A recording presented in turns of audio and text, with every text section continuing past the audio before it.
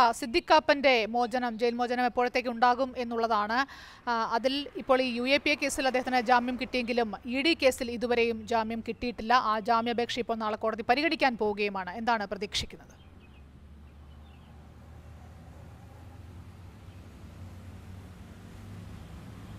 ശാലിനി നേരത്തെ സുപ്രീം കോടതിയാണ് U A P A കേസിൽ സിദ്ദിഖാപ്പന് ജാമ്യം നൽകിയത്. നമുക്കറിയാം സുപ്രീം കോടതി അന്ന് തെളിവുകളുണ്ടോ എന്ന് യു പി സർക്കാരിനോട് ചോദിച്ചിരുന്നു. യു പി സർക്കാർ അന്ന് പറഞ്ഞ തെളിവുകളൊന്നും കോടതി കാര്യമായി അംഗീകരിച്ചില്ല. ഇത്രയും നാൾ ജയിലിൽ കിടക്കുകയാണ്. അതുകൊണ്ട് സിദ്ദിഖ് അപ്പനെ മോചിപ്പിക്കണം എന്നാണ് സുപ്രീം കോടതി നിർദ്ദേശം നൽകിയത്.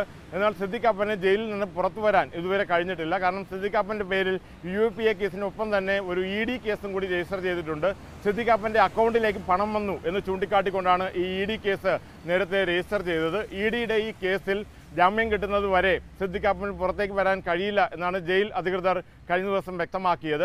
എന്തായാലും ഇ ഡിയുടെ കേസിൽ ജാമ്യാപേക്ഷ നേരത്തെ നൽകിയിരുന്നു. അത് നേരത്തെ കേൾക്കണം എന്ന് സിദ്ദിഖാപ്പന്റെ കുടുംബം ആവശ്യപ്പെടുകയും ചെയ്തു. സിദ്ദിഖാപ്പന്റെ ഭാര്യ ഉൾപ്പെടെയുള്ളവർ ലക്നൌവിൽ ഈ കേസിനായി എത്തിയിരുന്നു. എന്നാൽ ഇ ഡി ഇതിനെ എതിർത്തു. അപേക്ഷയിൽ മറുപടി നൽകാൻ കൂടുതൽ സമയം വേണം എന്നാണ് ഇ ഡി വ്യക്തമാക്കിയത്. അതുകൊണ്ട് കേസ് നാളെയായിരിക്കും പരിഗണിക്കുക. നാളെ ഈ കേസ് പരിഗണിക്കുന്ന സമയത്തും ജാമ്യത്തെ എതിർക്കാനാണ് ഇ ഡി തീരുമാനിച്ചിരിക്കുന്നത്. എന്നാൽ അതിനെ ഘടകവിരുദ്ധമായി കോടതി ജാമ്യം നൽകുമോ എന്നതറിയാനാണ് കാത്തിരിക്കേണ്ടത്. എന്തായാലും നാളെ വിശദമായ ഒരു വാദം ഈ കേസിൽ കേൾക്കാനുള്ള സാധ്യതയുണ്ട്. നാളെ തന്നെ സിദ്ദിഖാപ്പൻ പുറത്തേക്ക് വരാൻ കഴിയുമോ എന്നുള്ള കാര്യം വ്യക്തമല്ല. സുപ്രീം കോടതി പറഞ്ഞ നിലപാടനുസരിച്ചാണെങ്കിൽ ഇത്രയും കാലം ജയിലിൽ കടന്നതാണ്. അതുകൊണ്ട് സിദ്ദിഖ് കാപ്പന് ജാമ്യം നൽകണം എന്നതായിരുന്നു സുപ്രീം കോടതിയുടെ നിലപാട്. ആ നിലപാടും സുപ്രീം കോടതിയുടെ ഉത്തരവുമൊക്കെ നാളെ അഭിഭാഷകൻ കോടതിയിൽ നൽകാനാണ് സാധ്യത. ഇതിന്റെ അടിസ്ഥാനത്തിൽ ജാമ്യം കിട്ടും എന്ന പ്രതീക്ഷയിലാണ് ഇപ്പോൾ കുടുംബമുള്ളത്.